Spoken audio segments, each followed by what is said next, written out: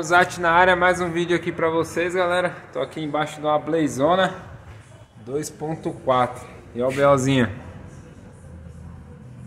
Vou mostrar pra vocês aqui o que, que aconteceu e o que, que ia piorar aqui devido a essa falta de manutençãozinha simples aqui. O cliente trouxe pra gente fazer um reparo de vazamento da água e a gente já descobriu outro defeito aqui.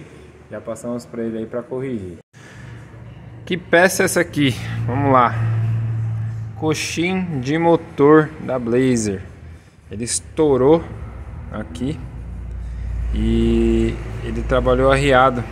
Então o motor desceu e calçou. Vou te mostrar aqui, ó, na, na própria barra de direção. Deixa eu sair um pouco aqui, ó.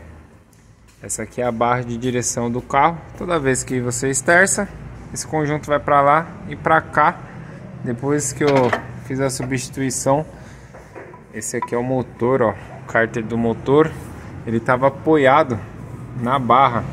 E olha o tanto que desgastou o cárter. Não sei se eu consigo chegar aqui para mostrar para vocês a barra. Acho que não vai dar para ver mais ou menos. É aqui, ó. Fica ruim, mas ela trabalhou roçando aqui, ó. A gente consegue ver perigo de estourar com o tempo desgastar aqui o cárter e acabar furando, vazar todo o óleo. É, eu não sei como o cliente não percebeu. É, na verdade, vou até conversar com ele a respeito disso. Que estava pegando, né? Toda vez que você esterça, provavelmente já está fazendo algum ruído e a direção pesada, porque trabalhou prensando aqui, apesar de ser direção hidráulica, né?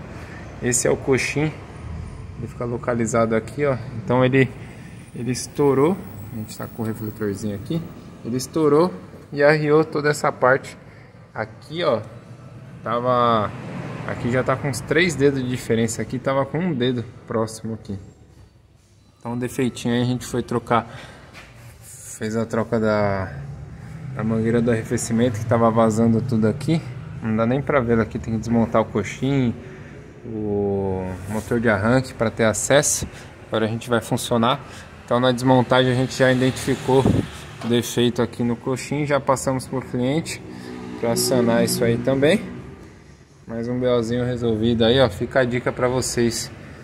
Isso aqui causa muita trepidação, barulho de vibração dentro do carro quando estoura o coxinho. Então fica mais uma diquinha aí para vocês no canal. Se inscreve aí, deixa seu like aí para fortalecer a gente. A gente aqui de São Bernardo do Campo, se precisar de serviço, pode trazer pra gente. Aqui a gente vê vestígios de vazamento lá da válvula termostática. A gente já resolveu também. É isso aí. Mais um vídeo para vocês com a diquinha curta aí.